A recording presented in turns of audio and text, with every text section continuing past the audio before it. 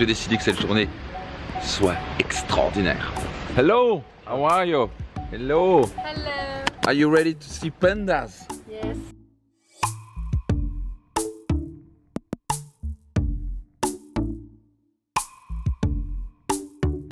Bon, allons voir ces pandas.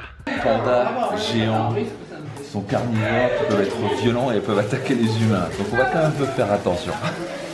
On est des volontaires aujourd'hui. Magnifique. La classe, hein Très collant quand même.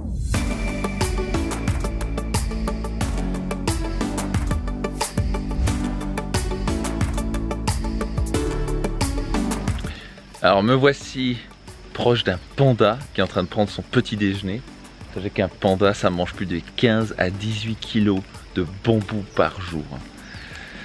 Donc assez fainéant comme bestiole. En tout cas c'est craquant quand on, l'avait environ à un mètre de, nous et c'est on a envie de le prendre dans les bras. Mais attention c'est comme un ours, c'est carnivore et ça peut griffer.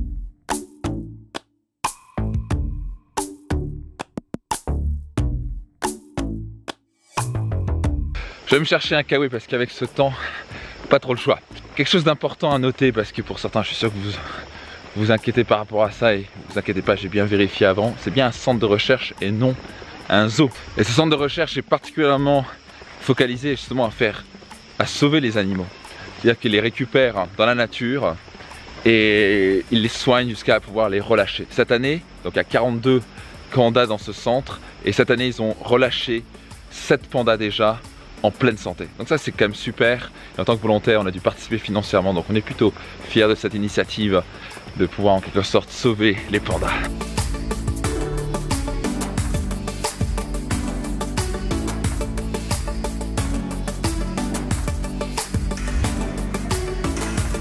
Alors un chiffre important, c'est qu'il reste seulement dans la nature et totalement dans le monde 1800 pandas géants qui sont uniquement en Chine et 85% dans cette région et 400 sont justement dans des centres de recherche pour en gros rester en vie. Donc il n'y en a pas beaucoup, donc euh, c'est une, espèce en voie de disparition, ce qui est un peu dommage. En tout cas, ils sont absolument choux.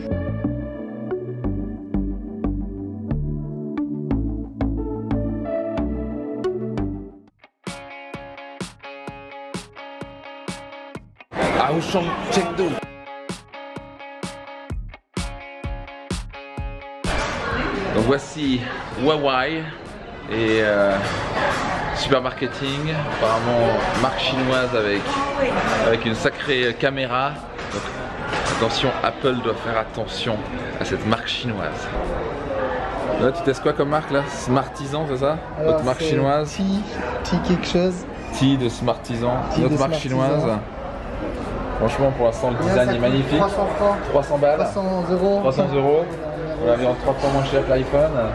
Et ça, tactile, ça a l'air nickel. L'écran a l'air incroyable. Ça a l'air bien. Hein Ouais. Il va y avoir la compétition, hein, attention. Il n'y aura plus Apple et Samsung seulement.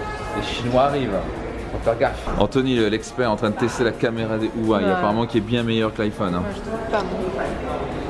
Ouais, mais attends, ça c'est le selfie.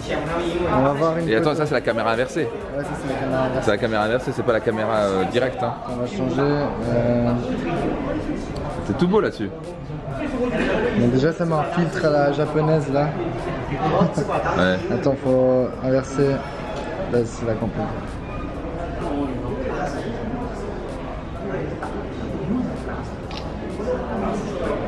Ça, j'en ai pas sponsorisé par euh, Huawei au cas où. hein. Ça va, ça, ça va. Ah, juste en tête. Avec un iPhone, tu peux faire mieux avec. C'est vrai Ouais. euh, D'ailleurs, Verdict. Anthony, l'iPhone est mieux avec son point caméra. Imaginez-vous un marché de 1,3 milliard de personnes. Donc en voyant tout ça avec vraiment une société de consommation, avec beaucoup, beaucoup d'argent, croyez-nous, quand on voit les Mercedes, les Ferrari, les Les Louis Vuitton, tout ce que toutes les grandes marques sont ici, c'est plus 1% qui a de l'argent, on parle de beaucoup de gens qui ont beaucoup d'argent. Donc, si vous êtes un entrepreneur, je vous inviter à regarder du côté de la Chine parce que les opportunités, vous n'avez aucune idée. Imaginez-vous la France, 65 millions, la Chine, 1,3 milliard de personnes. Donc on est à Auchan Et ça me rappelle mon enfance parce que mes parents faisaient leurs achats ici. On venait, j'étais haut comme trois pommes. Et en général, on achetait euh, bah, les choses qui étaient en bas des étagères parce que c'est ce qui était moins cher.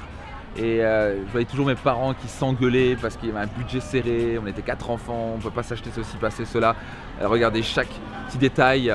Et, franchement, c'était stressant et frustrant. Donc moi, j'ai hérité, j'ai grandi dans une famille où, l'argent était un problème. Et maintenant, pouvoir me, balader et aller à travers le monde, amener la personne que j'aime le plus, qui s'appelle Marine, et pouvoir vraiment s'éclater, pouvoir vraiment ne plus compter euh, ces petits euros et me dire, tu quoi, j'ai envie d'acheter quelque chose, je peux faire, c'est quand même un sentiment extraordinaire, croyez-moi, de liberté.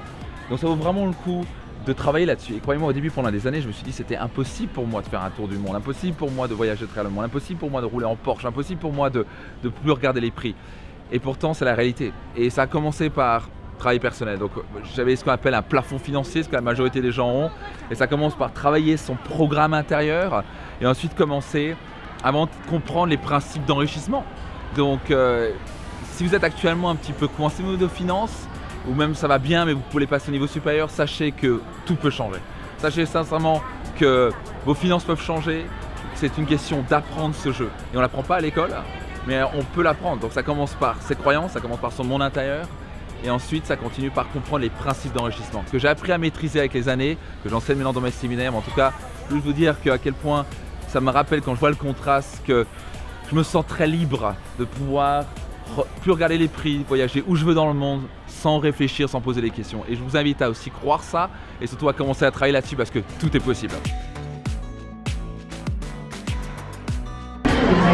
De faire la queue et comme cette petite actuellement, qui environ 3 ans, je me rappelle j'étais assis sur ce même caddie et je voyais mes parents s'engueuler et stresser à propos de l'argent. C'est comment on va payer ceci, oh là là, on a trop pris, comment on va payer ceci? Il y, avait, y avait mon père qui transpirait par rapport à ça et s'engueulait. Et donc ça a généré, j'ai associé émotionnellement dans mon cerveau que l'argent était mal, que l'argent était stress. Et donc, quand j'ai plus tard voulu gagner de l'argent, j'avais comme un conflit à l'intérieur de moi. Parce que mon cerveau me disait attention, argent c'est mal, attention, argent c'est stress, on n'essaie pas d'en gagner plus. C'est comme ça que notre cerveau fonctionne. Et un jour, j'ai compris qu'il fallait que je commence à associer l'argent à quelque chose de positif. Ça n'a pas été facile. Hein. J'ai dû commencer à comprendre comment mon cerveau fonctionne, comment mes émotions fonctionnent, comment elle lie les choses aux émotions. Et c'est comme ça que j'ai commencé à tout doucement changer et à créer un nouveau programme intérieur, ce que j'appelle un programme intérieur. Et je commençais à que l'argent était quelque chose de bien pour moi, c'était positif, que je pouvais faire du bien autour de moi, je pouvais donner dans l'humanitaire, que je pouvais voyager à travers le monde, que je pouvais offrir des cadeaux aux personnes que j'aimais. Et une fois que j'ai fait ça, tout a changé. Mes revenus ont fait littéralement x30 dans l'espace de 10 ans. Et je peux vous dire, parce que si moi j'ai pu le faire, vous le pouvez aussi.